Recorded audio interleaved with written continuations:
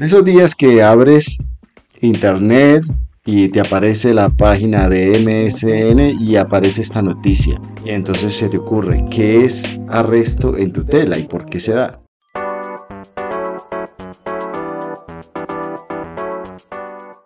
Estamos en uno de esos días donde vemos que en las noticias se presenta este titular.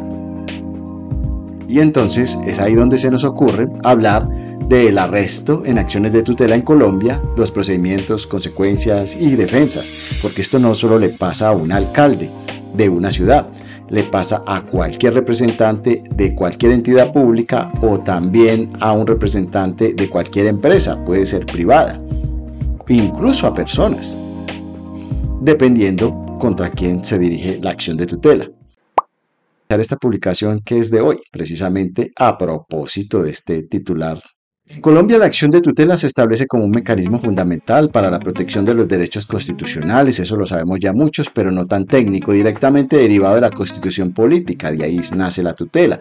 La rigurosidad en el cumplimiento de las defensas o de las órdenes emitidas en este contexto es crítica, dado que su incumplimiento puede llevar a sanciones severas, incluido el arresto, como lo que vemos en el titular. Este artículo que estoy leyendo, que es de nuestro grupo, explora el marco legal y las sentencias relevantes que delinean el procedimiento y las consecuencias del arresto en acciones de tutela, proporcionando una guía esencial para entidades y personas que buscan comprender y navegar este aspecto del derecho constitucional colombiano. Y por acá, el resumen del titular noticioso de hoy, que ha sido tendencia en X, antes Twitter. Y vámonos al fundamento legal y el procedimiento. El arresto es una medida coercitiva en acciones de tutela, está contemplado en el artículo 52 del decreto 2591 91 que habla sobre la tutela, que permite al juez, en este caso, imponer sanciones como multas y en el caso específico arresto a quienes incumplan una orden de tutela. ¿Cuál es el plazo normal que se le da a una persona una vez se emite una sentencia que establece una orden de tutela? El plazo máximo o el plazo perentorio del cumplimiento de lo resuelto es de 48 horas. Es un plazo perentorio. Si no se cumple, ya estaríamos hablando de desacato. Si no se cumple ante el desacato, entonces es donde viene multas o arresto. Y hablemos de alguna sentencia en particular que tenga que ver con esto. La sentencia SU 034-2018 de la Corte Constitucional enfatiza que el desacato a estas órdenes es una falta grave que atenta contra los derechos fundamentales y el acceso a la justicia. Dice aquí, la jurisprudencia constitucional ha sostenido sobre el particular que incumplir la orden dada por el juez constitucional en un fallo tutela es una conducta de suma gravedad porque uno, prolonga la vulneración o amenaza de un derecho fundamental tutelado y dos, constituye un nuevo agravio frente a los derechos fundamentales a un debido proceso y acceso a la justicia, pero también puede haber inmiscuido una serie de derechos fundamentales. Y hay otra sentencia por allí que podríamos citar, la T315-2020, donde dice eh, que se aborda la imposición del arresto por desacato a una orden de tutela como una medida extrema reservada para circunstancias excepcionales y tras agotar todas las posibilidades de cumplimiento voluntario, es decir, se le dijo, se le volvió y se dijo y no quiso cumplir, la sentencia entonces recalca, el arresto debe ser proporcional, no es cualquier arresto loco y póngale cualquier cantidad de semanas. Debe ser razonable y siempre respetuoso del principio de dignidad humana. Así es que se debe imponer esa orden de arresto. En un caso decidido 315 de 2020, de 315-2020, la Corte encontró que había una serie de órdenes de arresto.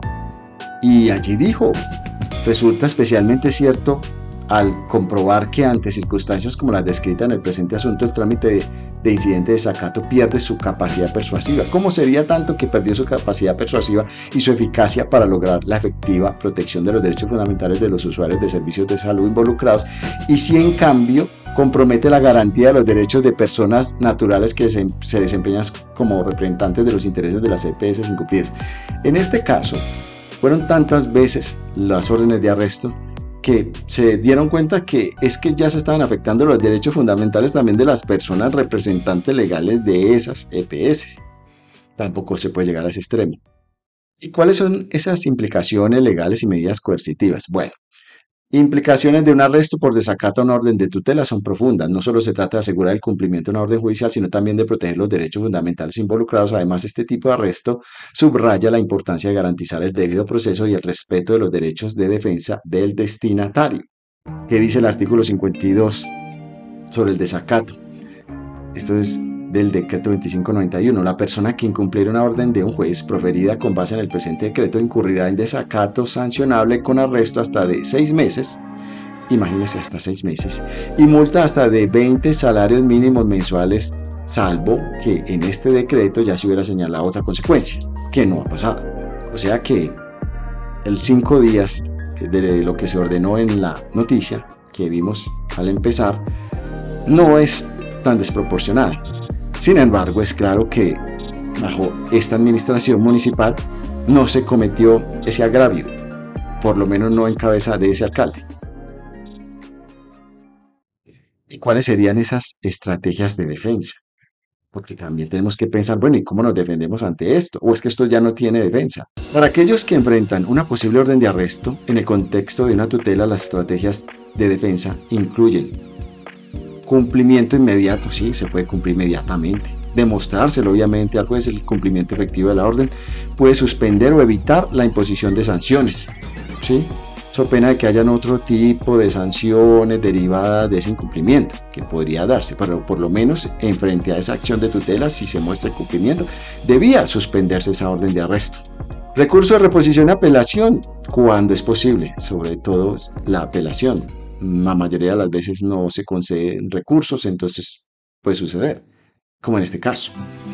Negociación y mediación, siempre usted podría entonces eh, negociar con el accionante en tutela, eh, alcanzando una solución que puede ser entonces de mutuo acuerdo y se puede llevar al juez para que éste la vale, la acepte y así terminar con esa orden de apremio. Revisión judicial por cambios circunstanciales. Si surgen nuevos hechos o circunstancias, se puede solicitar una revisión de la medida. Pues en este caso podríamos decir es que no es el mismo alcalde sobre el cual debía recaer esa sanción porque él ni siquiera la conocía, apenas lo conoció y ya salió a cumplir, porque así sucedió en la noticia realmente. Las conclusiones son las siguientes. La sentencia SU 034-2018 y la 315-2020, si fueras, a, si fueras a tomar solo esas, porque hay muchas más, refuerzan la seriedad con la que el sistema judicial colombiano trata el incumplimiento de las órdenes de, tutela. Los destinatarios de estas órdenes deben entender que el incumplimiento puede llevar a consecuencias severas, incluido el arresto, ya lo sabemos. Es crucial que todas las partes involucradas respeten y cumplan con las decisiones judiciales para proteger los derechos constitucionales y mantener la integridad del sistema de justicia. Este análisis entonces eh, nos demuestra que siempre hay que cumplir con las órdenes de tutela, máxime cuando ya hay incidente de desacato, que es posterior a esa sentencia de tutela que ordena algo, cumplir algo. Y ya saben, nuestro grupo presta servicios como asesoría jurídica mensual, conceptos jurídicos profundos, defensa legal especializada, abogados casacionistas como mi caso, modelos de demandas, si usted necesita un modelo de tutela en especial, si general, si necesita especial, esos tipos de servicios se le ofrece mi grupo, revisión de borradores de una tutela o de cualquier otra eh, actuación procesal o en un juicio. Orientación procesal también ese tipo de servicios, porque hay personas que van a tomar una decisión, bien sea para presentar una demanda, para defenderse, para conseguir un abogado, para revisar el proceso que está en pie, para obtener una segunda opinión profesional también. Entonces ahí están nuestros servicios y como siempre ahí les dejamos abajo en la descripción los datos de contacto. Mi nombre es Alex Valencia y nos estamos viendo o escuchando en una próxima. Saludos.